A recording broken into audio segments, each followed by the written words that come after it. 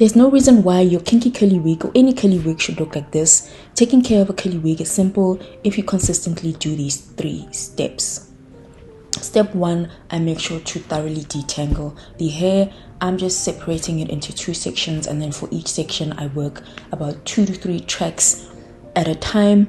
And using a detangling comb of choice, I will just thoroughly comb that section until I can run the comb freely through the hair. And then I will move up the tracks So this is the first step and it is a crucial step.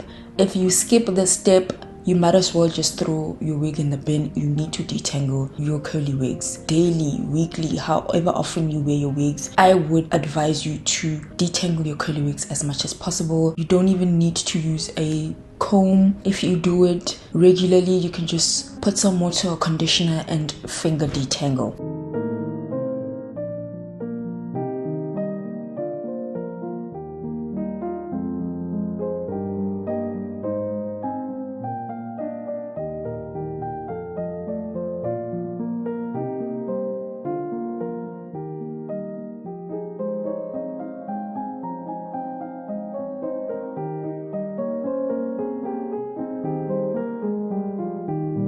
At the end your wig should look like this all puffed out all poofed out with little to zero curl definition. Before you put it in water to wash it make sure that you remove any residual glue or any glue on the lace. I'm using a hack that i saw on tiktok and i'm just finishing up with some olive oil to remove any residual glue but most of it was removed using this hack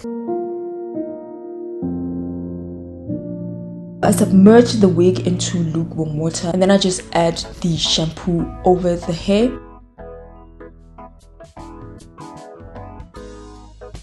So I use my hands to wash the hair first and then I will use the detangling brush that I used in the first step just to remove any tangles that may have been introduced as the wig gets into contact with, with the water.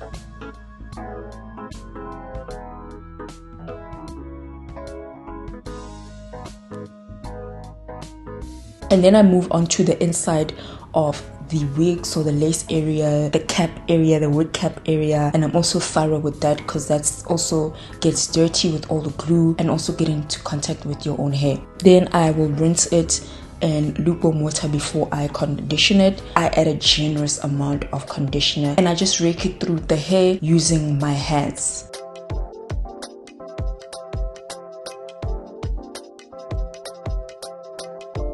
I'll be steaming the wig to ensure that the products get absorbed into the hair and the hair comes out silky. But if you don't have a steamer, you can just put it in the microwave or you can just fill a tub with boiling water and then place the plastic on there and then cover it with a towel.